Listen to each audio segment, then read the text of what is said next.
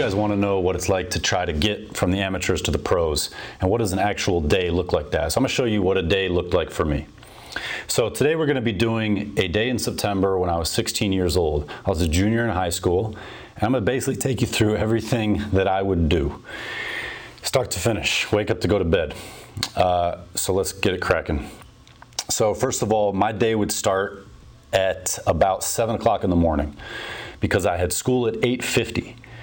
And every day before school, I wanted to wake up early and get to the gym to shoot. So I'd wake up at 7 in the morning, and the very first thing on my agenda was jumping rope.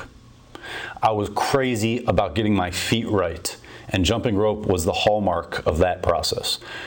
So I wake up at 7 a.m. First thing I do before I eat breakfast is I jump rope.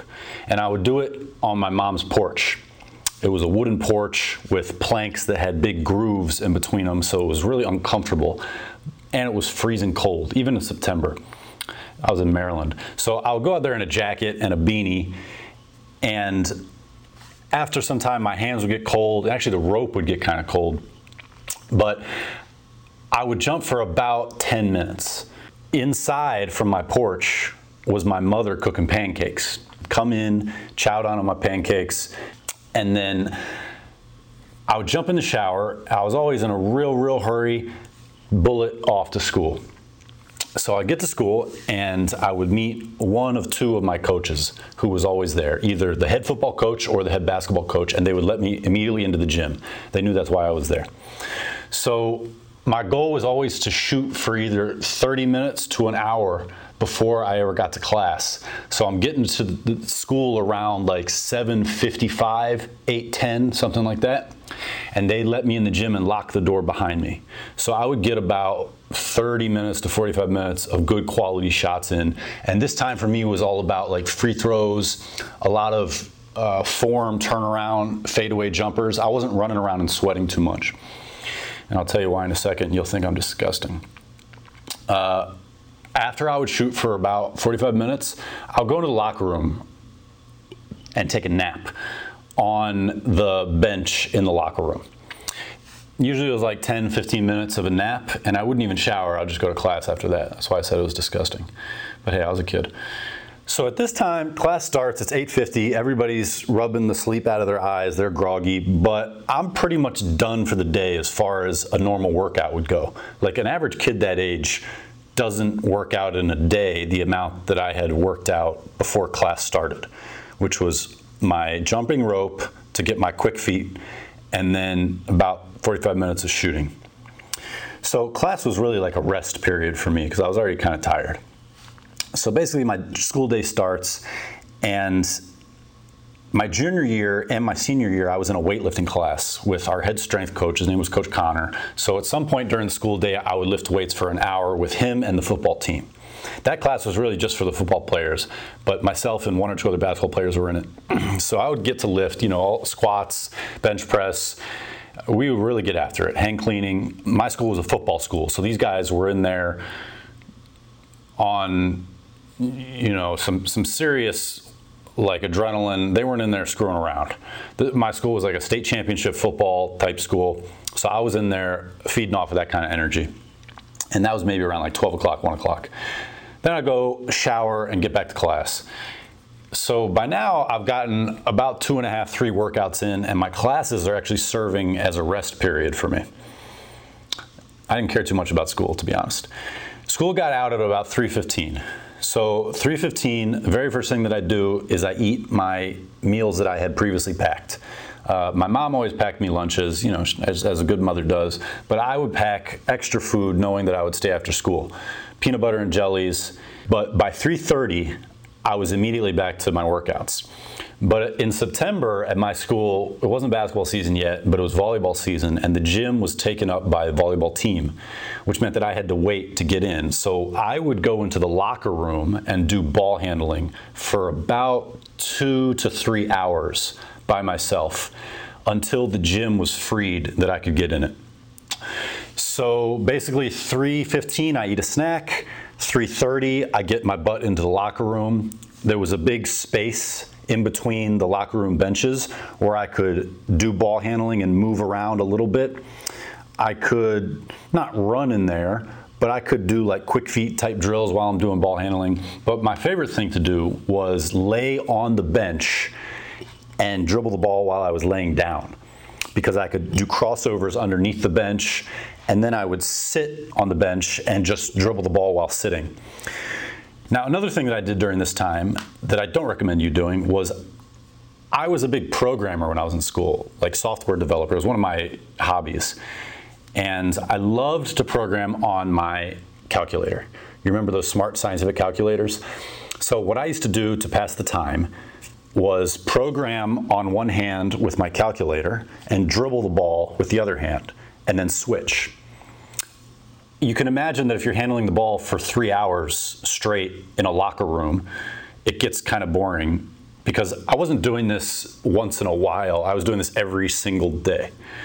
So basically, to zone out and completely pass the time, I would be programming fun games on my calculator.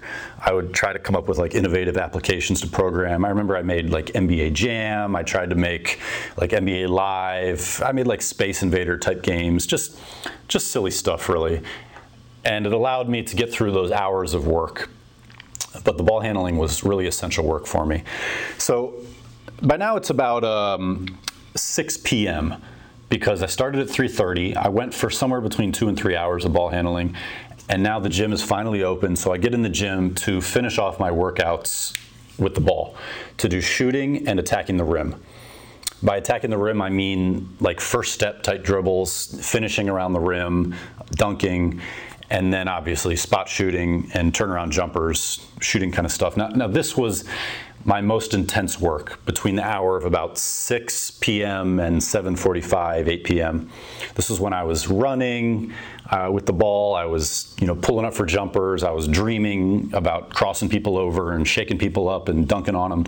So this is my real heavy workout time. And that combined with my ball handling put me somewhere between three hours and four hours of ball in my hand work during the day. And my rule every single day was three hours of ball in my hand work. That was my rule. And I never broke it, ever. So every single day I had a ball in my hands for three hours. And that was how I did it uh, for these days. As a 16 year old in September, I was living in Maryland and I was a junior in high school. So what happened next? It, now it's about 7:45, 8 o'clock, and I would go home where my mom would have made dinner for us, and we would eat dinner together. It was just her and I, and we would eat sometime around 8 o'clock, 8:30, and we would always sit and watch TV also.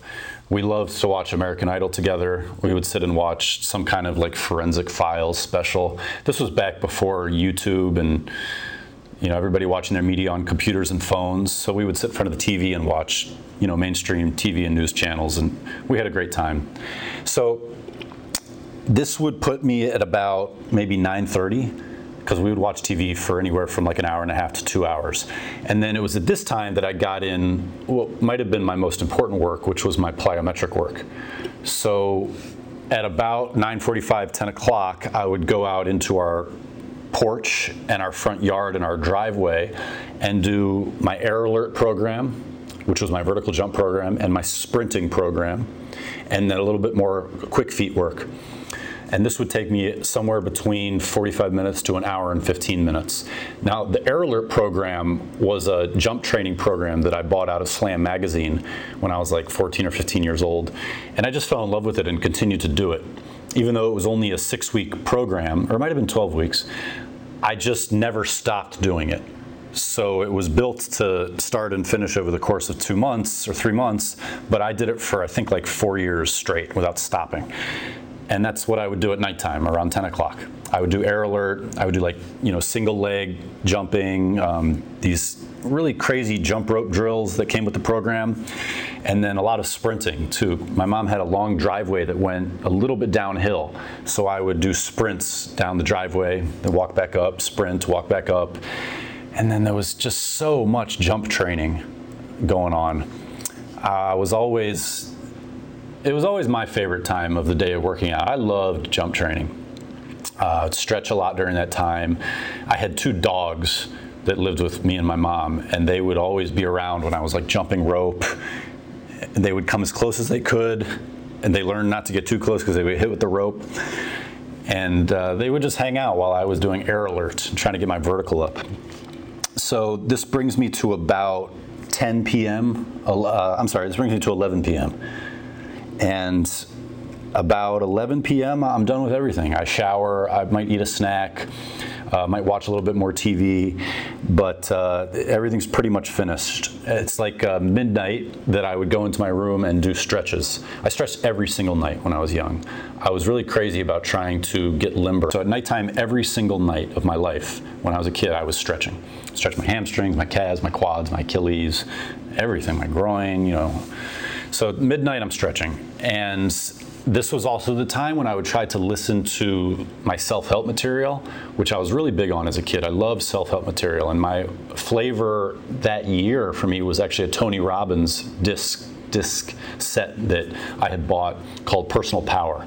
So I'd go into my room alone and put him on my bedside radio CD table uh, or on my CD player, like my Discman, I would listen to Personal Power by Tony Robbins, where he would talk about getting your mind right, getting real with yourself about your goals, you know, not BSing yourself, uh, having good self-talk while I was kind of stretching and winding down for the day.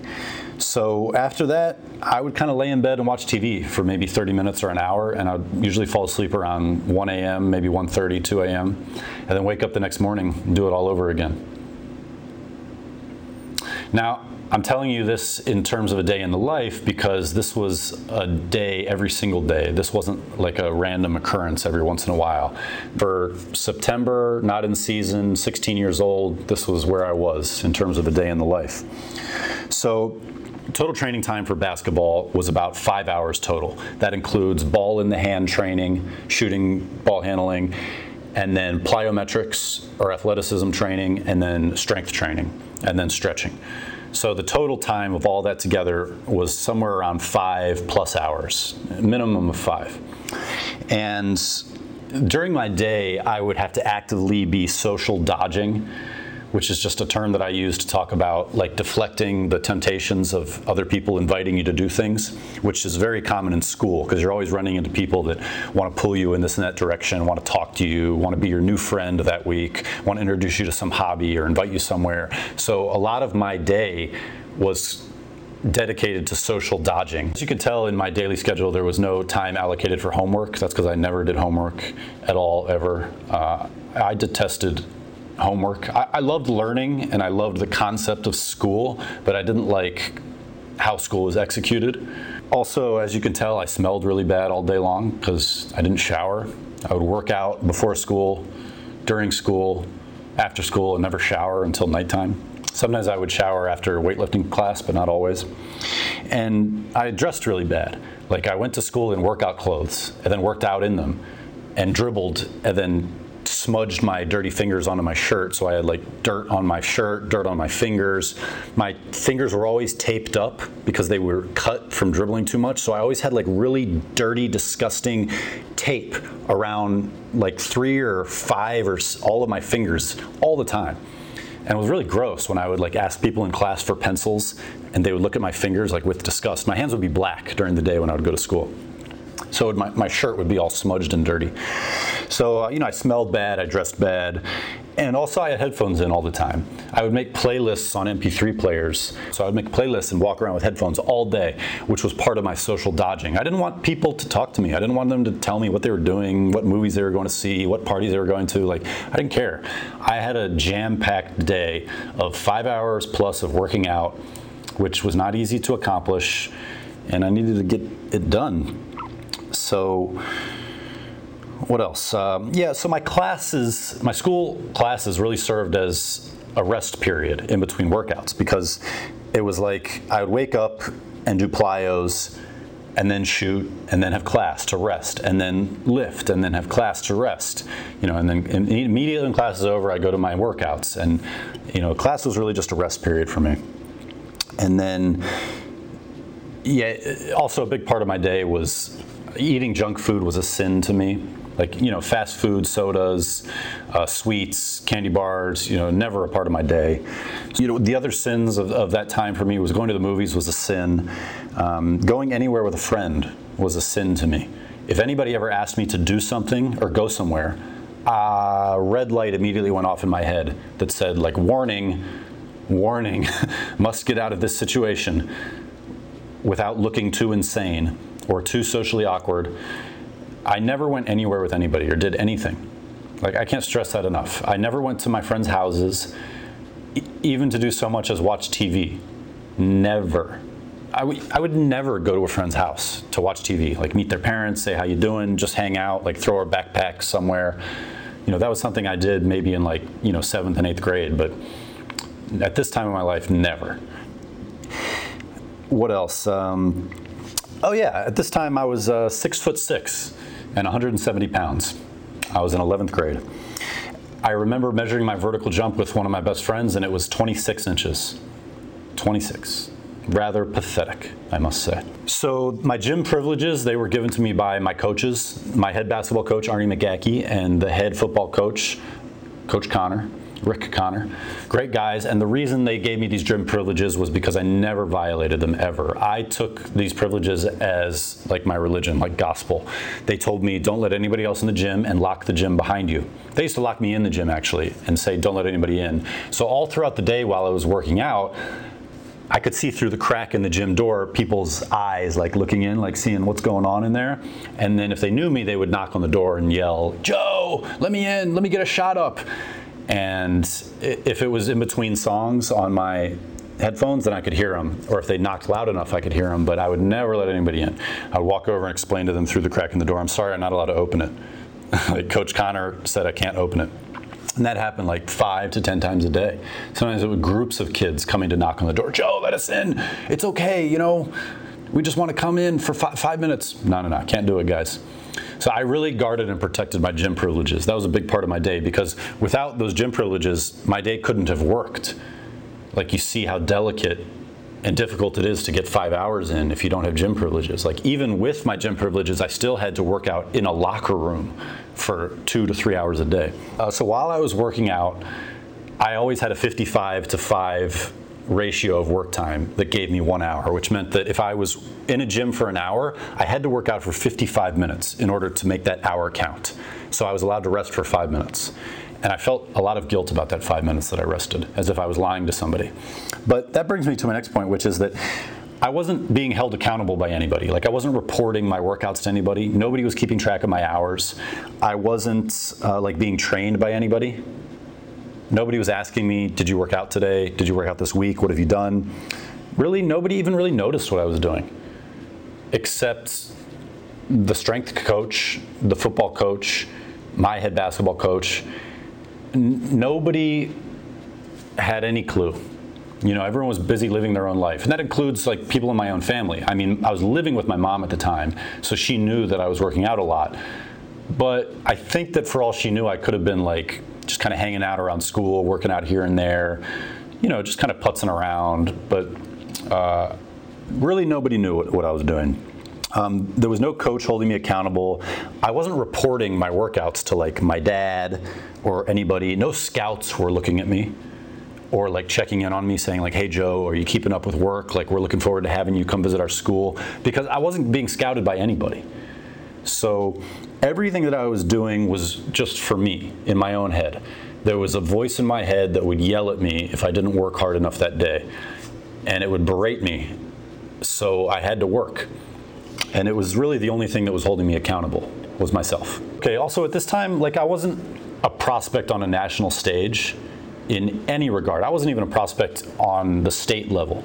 Like I wasn't ranked, not nationally, in, in our state, I wasn't ranked. I wasn't on any radar in terms of like potential state all stars or nothing like this. Like I was, I was nobody in terms of basketball, but I was working like this every hour and minute that I could because I knew that I was going to the NBA. And, and part of why I knew I had to work was because I knew that nobody else thought that I was going to the NBA. So the last thing I'll say is that it might sound like that's a rough day, and in retrospect, it sounds to me like a rough day, but that was not a once in a while thing. That was every single day. So, as a young person right now, if you think you could wake up and put in a single day like that, like try to be honest with yourself and if that's realistic or not. Could you put in a single day like that? That's difficult. Could you, after putting in a day like that, could you wake up the next day and do it again? I really doubt it. And the reason I say that is because I would say nobody at my school ever put in one day like I did, or even half of a day like I did. And I know because I was in the gym at all hours when it was available. So I never saw somebody even put in half of a day like I was doing. So I can say with confidence that you can't you can't do it. It's difficult. Nobody does it. So could you imagine putting in a day like that and then waking up the next day and doing it again? That would be tough. Well, try doing it for an entire week. Try doing it for an entire month. You know, I did that basically every single day, and I never missed a day. I don't care if it's Friday, don't care. Saturday, Sunday, doesn't matter. Coach says the gym is closed today, doesn't matter.